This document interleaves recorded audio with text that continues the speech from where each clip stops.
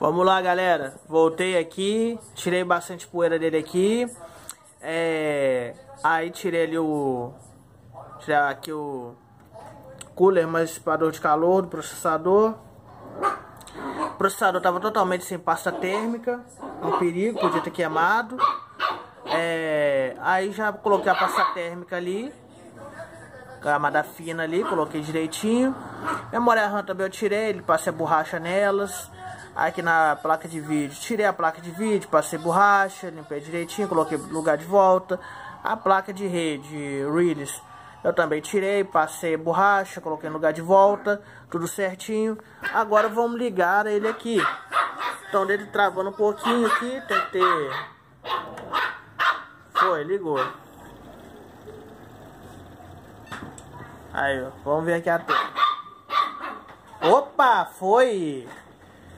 Então, galera, pelo jeito aqui, era mais uma limpeza mesmo, tava faltando ali, muita poeira, muita coisa. Aí agora vamos para outra parte, no caso que vou fazer o backup dos dados.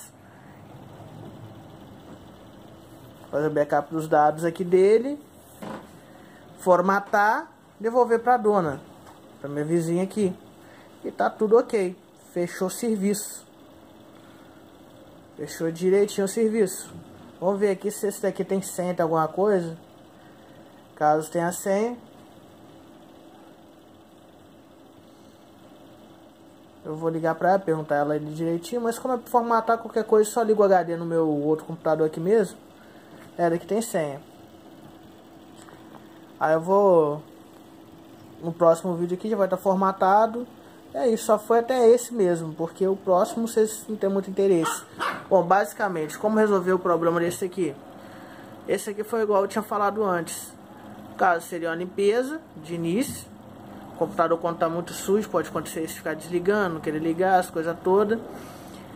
E aqui a pasta ali do processador dele estava sem pasta, o processador estava sem pasta. Então acontece ligar e desligar. Muitas vezes não dá imagem.